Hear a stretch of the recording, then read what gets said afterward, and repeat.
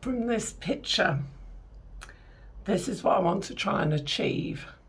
Now I've had this um, picture on my bedroom wall for years and it's a 1950s fashion uh, photograph and I just love that. So I've sat and pondered how to make the pattern. I think I'm there now.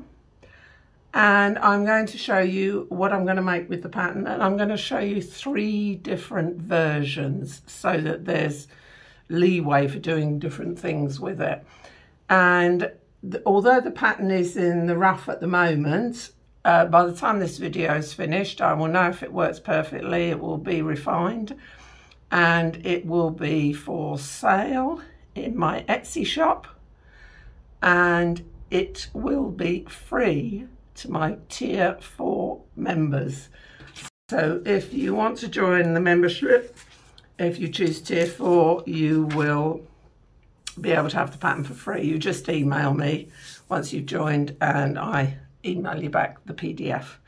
So these are the pattern pieces. The top, the side of the hat and the brim. And as I say, it's taken me a while to figure out size-wise and how this is going to work. Now I'm going to show you the easiest version first and that is going to be cut from wool felt. Now this is wool felt, this is not acrylic felt, it's proper wool felt. Um, I don't think this would work with acrylic, but we'll, we'll see. Now on this version, I'm not going to use the brim, I'm just going to make a soft little beret. Oh gosh, this it's got lots of fluff on it. Right, so what I'm going to need is the side and the top. And these have all got to be placed on the fold, but so I don't waste fabric, I'm just doing uh, the brim first. And actually, to, even more so I don't waste fabric, I'm turning it over this way. Okie dokie. And finding some pins that aren't bent cheap pins are horrible. Don't ever buy them. They just bend, bend, bend. Not worth having. So...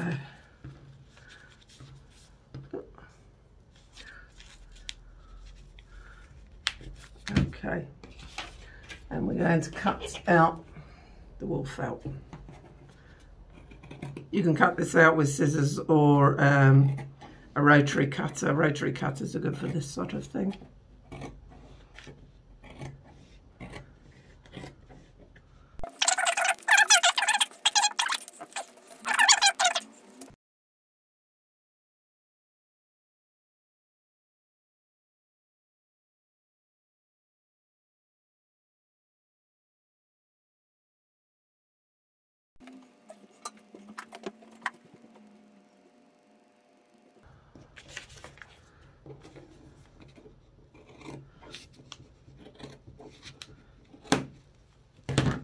Okay, so that's my top. And you'll see that line there is our seam allowance. So I'm going to put a pin in the middle there. And a pin at the edge of my seam allowance here.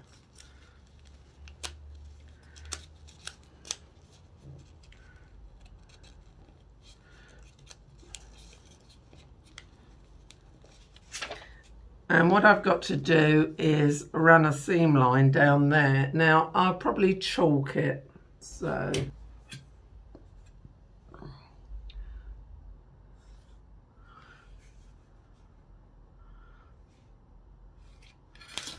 Right.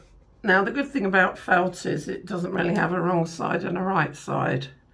So I'm going to stitch that together there.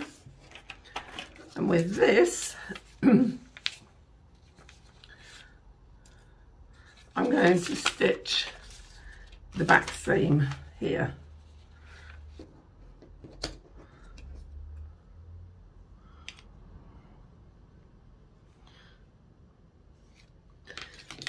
Not quite wide enough,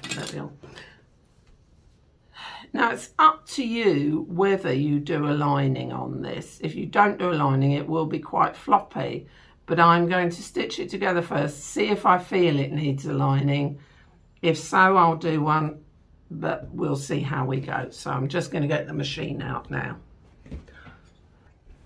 So I've done my two seams and what I'm going to do is just snip down that edge.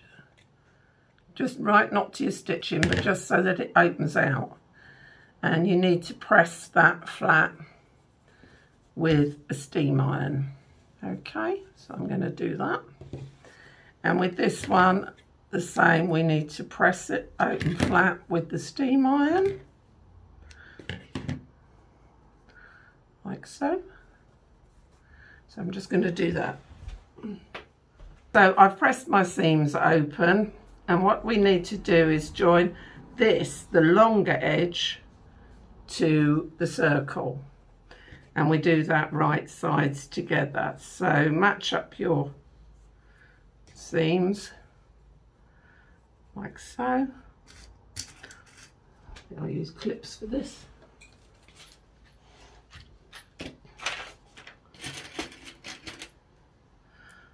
So I'm going to clip it all the way around and then I'm going to stitch it again on the machine.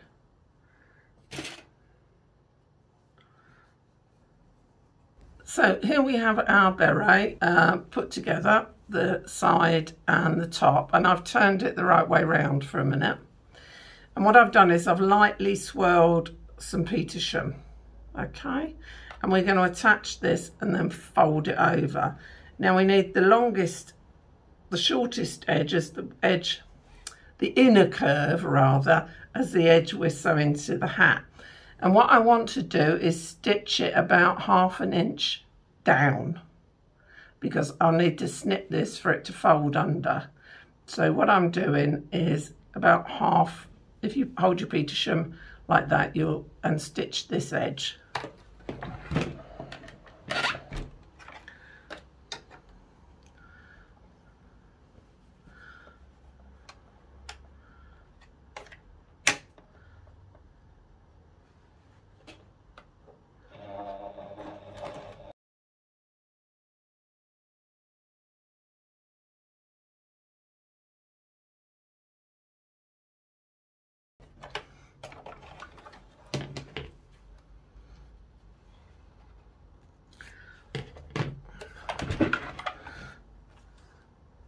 If you're not confident about working out that half inch, chalk mark and do it, you know, chalk mark this side and measure it.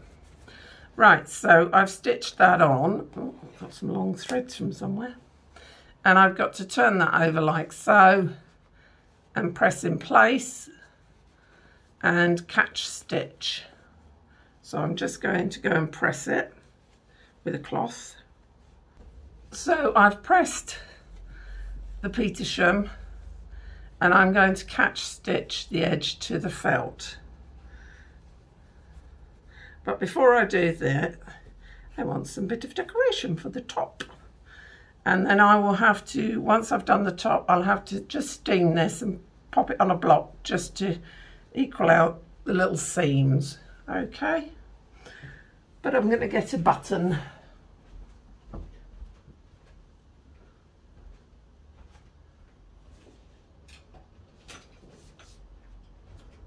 So what I've done is I'm using any old button, a biggish button really for the top.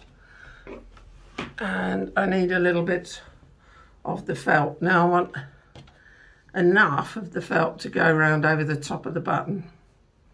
So, so I've cut a circle of felt that should meet in the middle of the button. Let's see, yeah.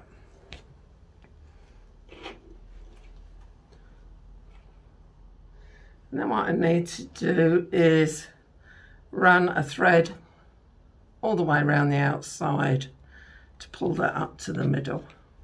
So just do a running thread. Put your button in the middle. Pull up your thread. and then just do some over stitches to hold it all together. This works for covering any buttons. It's just a simpler way. If you don't need to see, if you're not going to see the back of the button, it doesn't really, really matter what it looks like from the back. Which we're not going to see the back.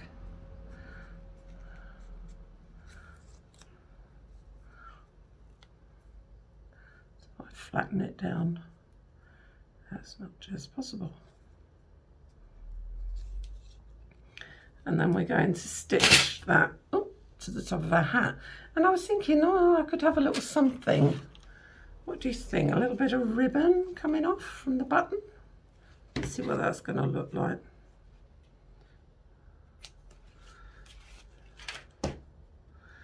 Might look horrible. And I might say, oh no. Uh, we'll do a V. Right, so that's our little little ribbon decoration on the top. Might not be everybody's cup of tea, but I thought it was a bit sweet. Right, so I'm going to press that, or steam it rather, just to get those little edges nice and smooth onto a round block. And um, I'll show you the finished result in a moment.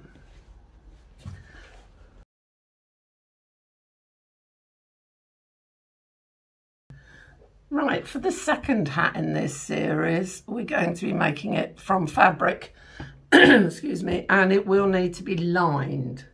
So here I've got some black cotton fabric, or polycotton, I'm not too sure. And I'm going to have to cut a side in lining, a brim in lining, and the top. So I'm just going to pin those on and get started.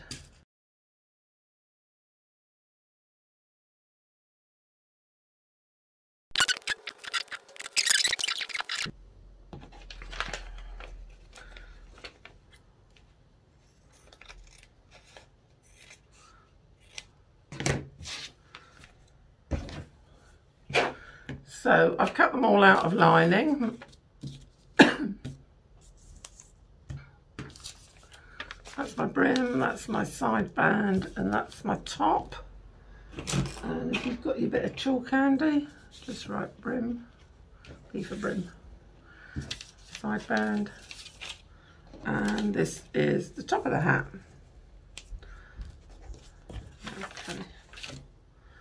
And again, we'll need to mark our seam allowance. So from there to there. Okay, so I'm going to stitch down there. Okay, like that.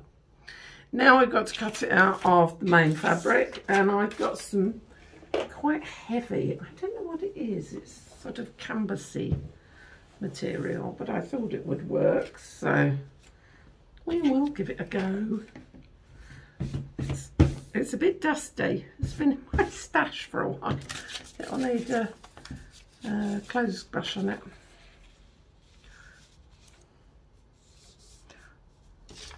So I've got my lining parts cut out and my main body parts. And what I need now is I need some interfacing for the brim. Ignore the fact I've written it on there because we don't need it on there.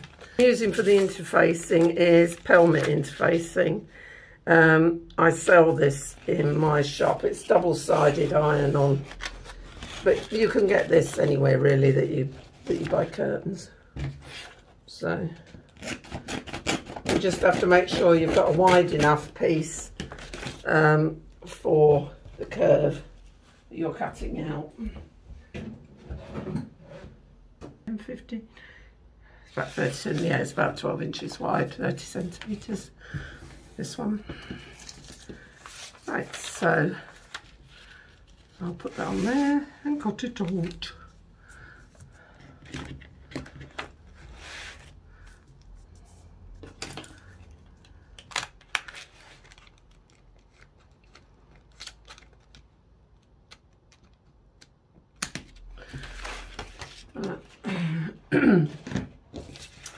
Right, if you do buy the pattern for me or have it for free, you'll find this, the, the interfacing brim is going to be a separate pattern because I've realised that the interfacing obviously has to be narrower than the fabric, otherwise there's no leeway for folding up. So with this one, I'm just going to trim the edges to give me um, but you can see from what I'm, how I'm working this all out, you can see what a lot of work goes into working out how a pattern's going to function, if it's going to work, etc. And sometimes it's not until you actually start making it that you realise, oh, should have thought of that, should have thought of this. But I like you to see what's happening. So there's our, there's our piece of interfacing. Right, first things first. There is our brim in the fabric. Okay. Right, what I'm going to do is I've got my main piece of fabric for the brim. It doesn't seem to have a wrong and a right side, this fabric. I quite like that side. I'll go with that as the right side. And I'm going to just stitch my lining to it just on this top edge okay just along here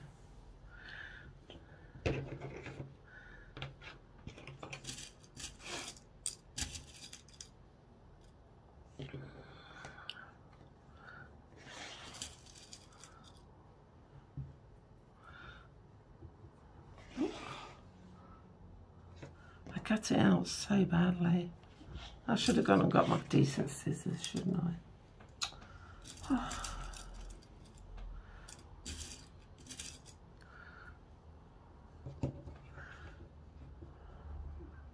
I've allowed about a centimetre for seam allowances, so I'll let you know once the pattern's totally finished, I'll let you know whether that works or not. So I'm going to stitch that now. Right, what I'm going to do is just trim this seam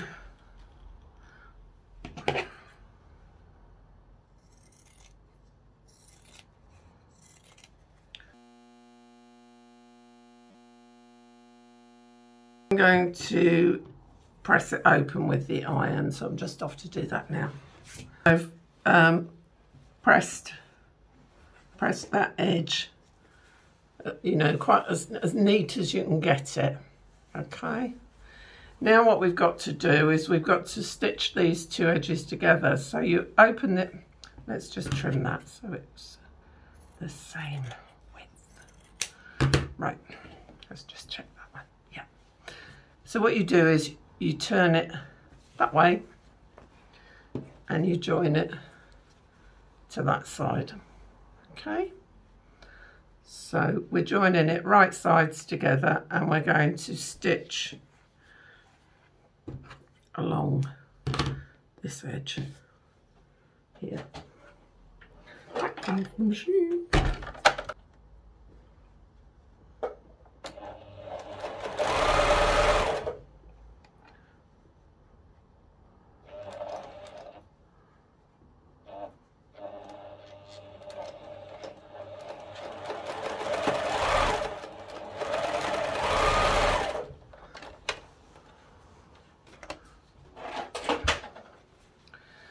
So I've stitched the two sides together and I'm going to press those open again with the iron. So I'm just going to run a top stitch very narrow right close up to the edge. So my brim has now been top stitched right close to the edge and I'm going to put my stiffener in.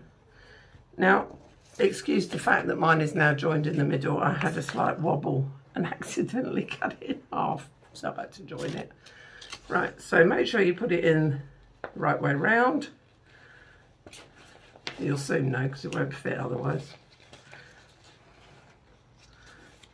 Get it right up against your um, top stitched edge. And clip or pin all your edges together pushing the the um, stiffening down as much as you can. Now I've used iron-on stiffening, but you don't actually have to iron it. You could just, you know, leave it as is because it's not going to go anywhere once it's all joined up.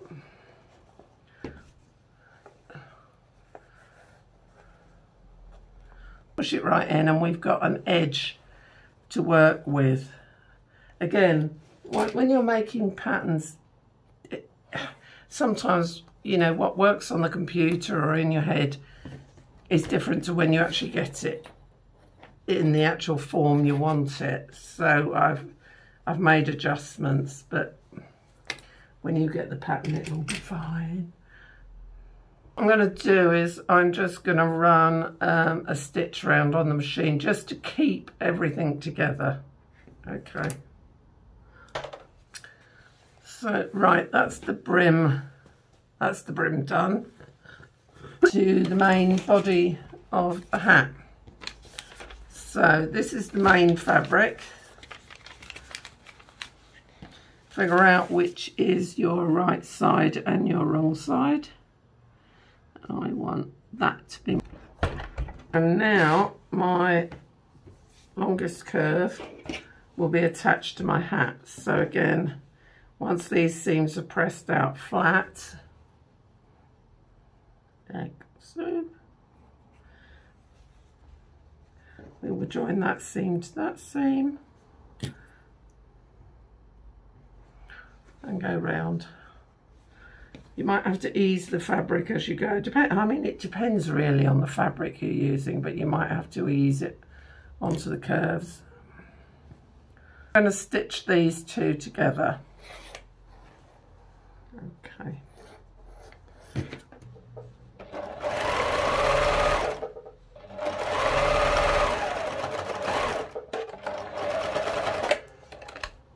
Now because this fabric frays quite a bit, what I'm going to do is just trim the seam up a bit. And I'm just going to run a zigzag. Okay. So, those two pieces are now put together. I've got to do exactly the same, but with the linings. So in effect, we're making a second hat. So, oh. Right, this is where version 2 without the brim comes into play. If you want to make this beret in fabric instead of felt, like the first one we I showed you, what you do is put right sides together. So you've got the lining inside the hat, right sides together, you stitch all the way around, leaving a gap of two inches and turn it inside out. And then, of course, you've got a hat. And you haven't got the brim. But we're doing this one with the brim.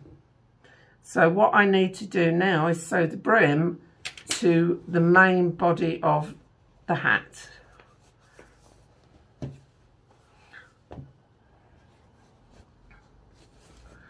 So I turn it right side out like this. Okay. Uh, where's my, put this over the top, line up my seam edge.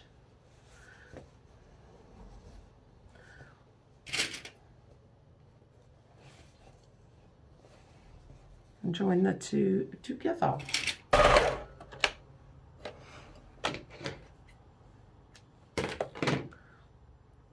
Run out of I've run out of bobbin thread. Isn't that annoying? And that happens just towards the end. So I'm going to put some more bobbin, bobbin thread. Right, so the brim is now stitched to the top of the hat. And now I've got to join the lining. Wrong side of the lining to right side of the hat.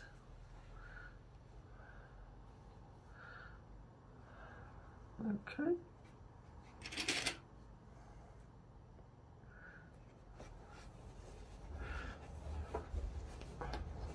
Have to squeeze it in a bit because obviously the brim's bigger than the the hat as such.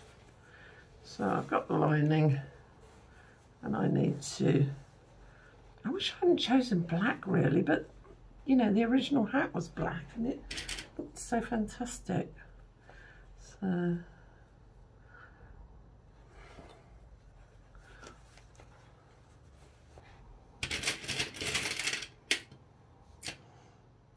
done it again, picked up the cotton. Now what we need to do is we need to leave a gap of about two inches so that we can turn the hat inside out. So once you've got it roughly in position, we'll stitch but leave a gap.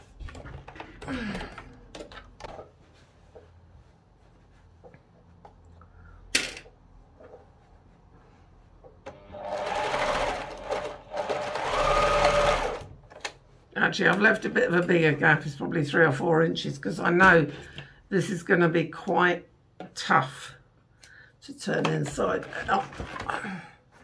And I'm just going to trim my seam a bit.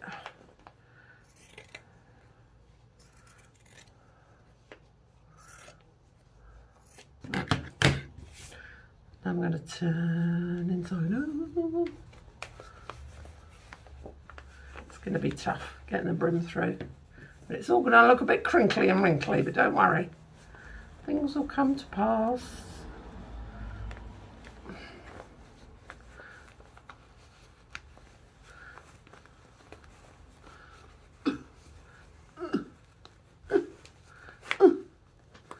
Pull it all out. Right, push my lining back in. Like this. Right, so my lining's inside the hat.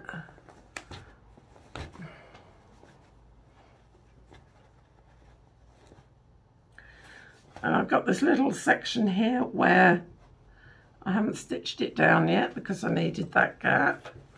But what I'm going to do now is sew the the sweatband in. Now what I've got to do is push the hat this way, okay? And I'm going to sew the sweatband along here so it keeps everything in a nice neat straight line. So now I've got to attach my Petersham and I've got to just slip stitch the edge where I turned it inside out. So I've got I've just got a quick uh, stitch to do here. Just to hold it in place while I stitch the Petersham in. Now because I want the Petersham to be the right way round, what I've got to do is I've got to stitch it to the top edge and then it folds under. So I've got to make sure the curly honestly, I've got to find a way of saying not the curly edge or the curly edge. I don't know. Right, so we want the biggest curve this side. Biggest curve, curly edge. I don't know. Uh, but because I want to sew it the other way around because it's easier to get it on the machine 对。